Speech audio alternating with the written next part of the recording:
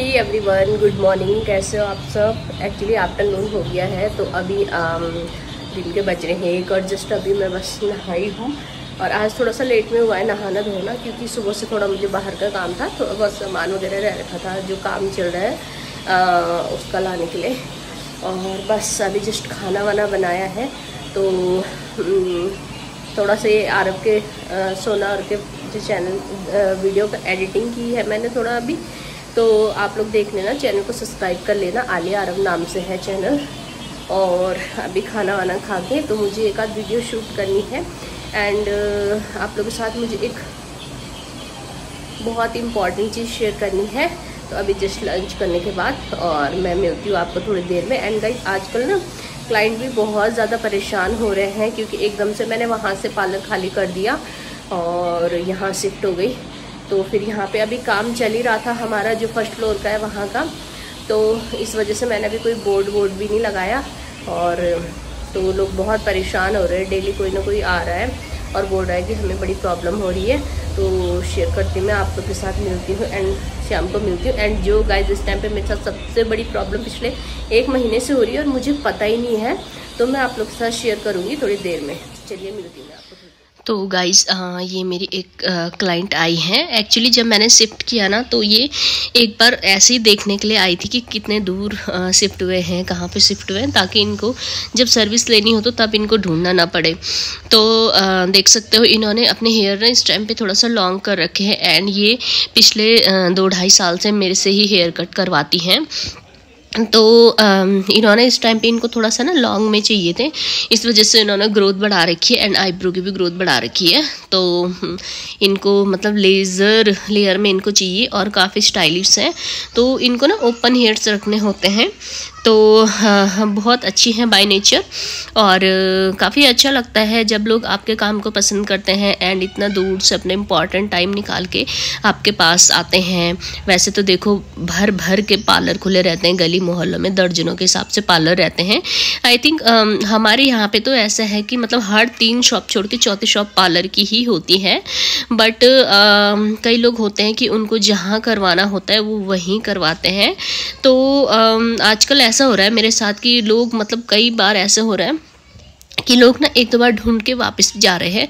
तो मुझे बिल्कुल अच्छा नहीं लग रहा कि लोग मतलब ऐसे इतना परेशान हो रहे हैं। तो मैं कोशिश करूँगी जल्दी मैं जो है अपना बोर्ड वोर्ड लगाऊँ। तो थोड़ा सा मतलब हमारे यहाँ पे काम चल रहा था, इस वजह से मैं नहीं लगा पा रही थी। तो तो इनको लेयर हेयर कट करवाना है और देख सकते हो सेंटर पार्टीशन मैंने लिया है। एंड पता है क्या इंपॉर्टेंट क्या होता है? कि देखो हेयर कट तो सब कर लेते हैं। मोस्टली हमारे यहाँ पे क्या होता है कि नॉर्मली लोग क्या करते हैं कि मान लो लेज़र करना है या स्टेप हेयर कट करना है तो बहुत से पार्लर वाले ऐसा कर देते ना स्टेप का नाम सुन के उनको बस बाल उड़ाने हैं।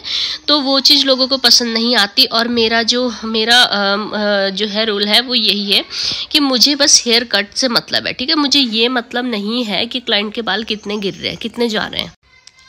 तो मैं हमेशा एक अच्छा हेयर कट देने में बिलीव करती हूँ ना कि किसी की हेयर ग्रोथ को ख़राब करने में किसी की हेयर लेंथ को उड़ाने में।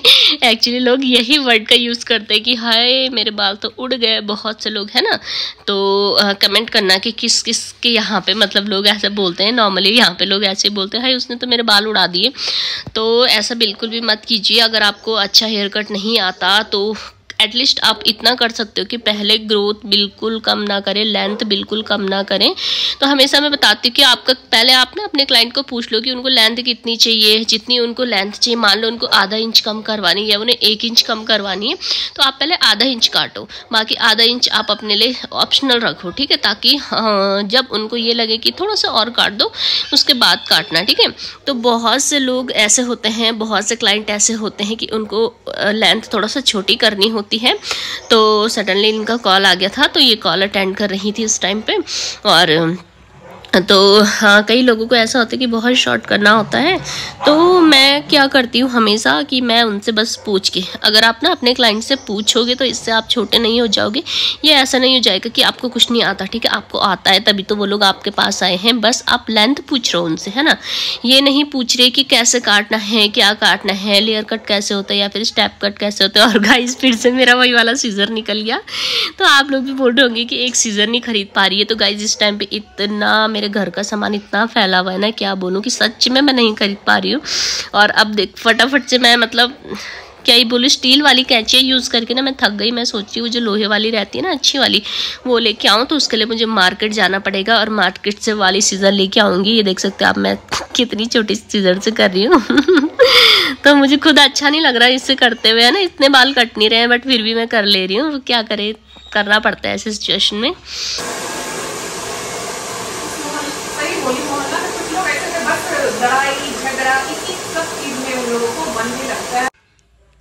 तो हेयर ड्राई मैंने कर दिए।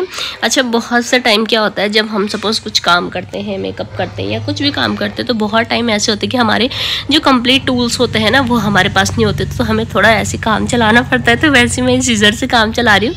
अच्छा मैं इस सीज़र से काम चला रही हूँ, इसका मतलब ये बिल्कुल भी नहीं है कि मेरा हेयर कट ख़राब हो रहा है, मेरा हेयर कट प्रॉपर वैसे ही हो रहा है बट थोड़ा सा टाइम लग रहा है।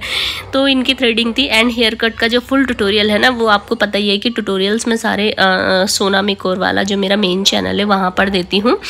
तो तो चलिए मिलते हैं आपको अगले ब्लॉग में। तब तक के लिए like share and subscribe please